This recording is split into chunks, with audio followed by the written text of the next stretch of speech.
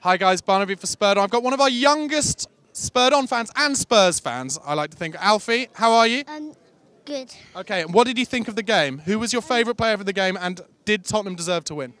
Yes, they did. Um, I think the, my favourite player was Min Song. Is that because he came on and scored the winner, Alfie? Yes.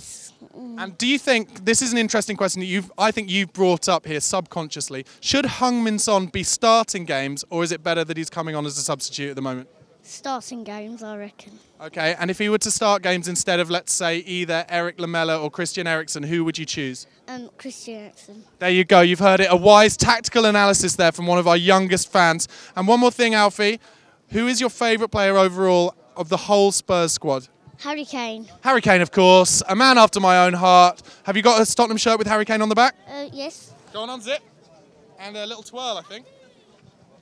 Little man. Little man. What's not to like, guys? Let us know if you have got a child as cute as Alfie in the comment section below. Probably not. Don't forget to subscribe to the channel. Follow us on Twitter at Spurred on TV. High, high five, Alfie.